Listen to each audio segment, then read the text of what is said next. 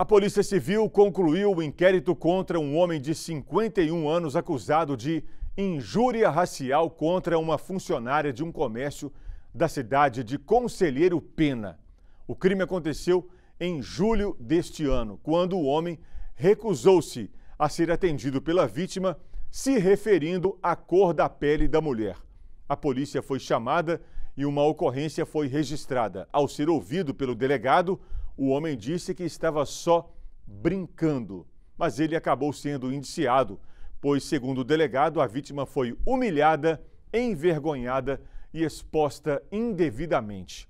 O delegado explicou ainda que uma mudança na lei tornou mais severo o crime de injúria racial, o equiparando ao crime de racismo, que tem pena maior com reclusão de 2 a 5 anos. Além de multa, não cabe mais fiança e o crime é imprescritível. O inquérito já está com a Justiça.